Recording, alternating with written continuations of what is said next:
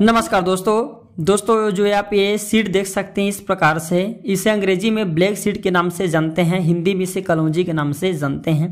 इसके बारे में आज मैं आप लोगों को बहुत सारा फ़ायदा बताने वाला हूँ दोस्तों। ये दिखने में बहुत ही साधारण सी हैं, लेकिन इसके अंदर औषधि गुड़ कूट कूट करके भरा हुआ है। बड़ा दुर्भाग्य की बात है कि इस तरह की जानकारी भारत भूमि से समाप्त हो रहे हैं।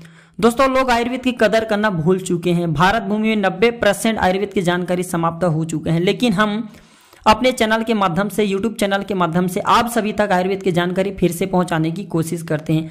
हमारे चैनल का मकसद दोस्तों यूट्यूब से पैसा कमाना नहीं है, बल्कि भारत भूमि से आयुर्वेद की जानकारी समाप्त हो रहे हैं।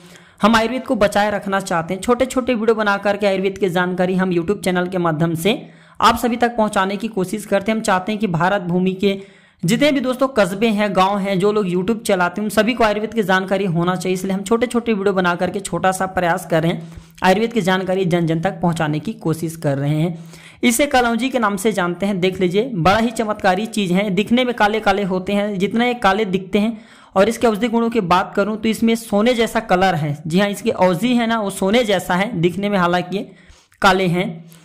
दोस्तों, इसे अंग्रेज़ी में ब्लैक कुमिन के नाम से भी जानते हैं, ठीक है? इसे ब्लैक सीड भी बोलते हैं, ब्लैक कुमिन के नाम से जानते हैं, संस्कृत में पृथ्वी के नाम से जानते हैं, हिंदी में कई जगह इसे काला जीरा कहते हैं, कलवंजी के नाम से जानते हैं या करैत के नाम से भी जाना जाता है, कई जगह इसे कोकड़ी भी बोलते हैं। तमिल में दोस्तों, इसे करुंजी रागम के नाम से जानता है, पंजाबी में इसे लालमंजी के नाम से जानते हैं, हो सकते हैं इसे आप यहाँ दूसरे नाम से जाना जाता हो। वीडियो में आगे बढ़ने से पहले मैं आप लोगों को बताना चाहूँगा दोस्तों ये बहुत सारे बीमारी को ठीक करने का काम करते हैं। जैसे कि मिर्गी की बीमारी है, आपके आँखों में दर्द हो रहा है, कानों में दर्द हो रहे हैं योनिसूल है, यहाँ तक कि पीलिया की बीमारी बवासीर की बीमारी, श्वास संबंधी बीमारी, हिचकी जैसे गंभीर बीमारी को यह समाप्त करने का काम करते हैं।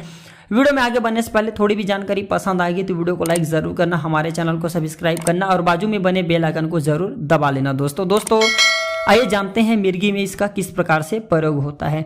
तो इसके तेल की मालिश करने से मार्केट में इसके तेल आते हैं तो इसके तेल के मालिश करने से या एक एक बूंद का तेल नस डालने से, यानी कि नाक में डालने से जो मिर्गी की बीमारी रहती है, उसमें काफ़ी लाभ मिलता है, मिर्गी की बीमारी ठीक होने लगते हैं।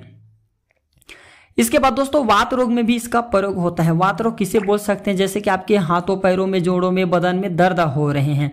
तो इसके तेल से मालिश करने से पक्षाघात की बीमारी ठीक होते हैं। वात रोग में काफ़ी लाभ मिलते हैं। यानी कि आपके हाथों, पैरों में, जोड़ों में दर्द हो रहे हैं, उसमें काफ़ी लाभ मिलते हैं।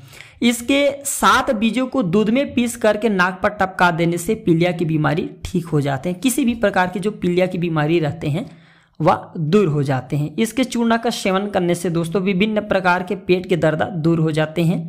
हिचकी आना भी दोस्तों इससे दूर होता है। तीन ग्राम अगर इसके चूर्णा में मक्खन मिलाकर के खाया जाए तो हिचकी जैसे गंभीर बीमारी भी दूर हो जाते हैं।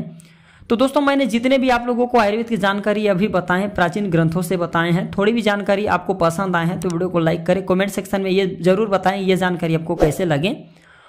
और मैं आशा करता हूँ दोस्तों, मेरे द्वारा बताया गया आज की जानकारी आपको ज़रूर पसंद आया होगा। इसे आप यहाँ किस नाम से जाना जाता है हमें ज़रूर बताना। वीडियो देखने के लिए धन्यवाद, नमस्कार।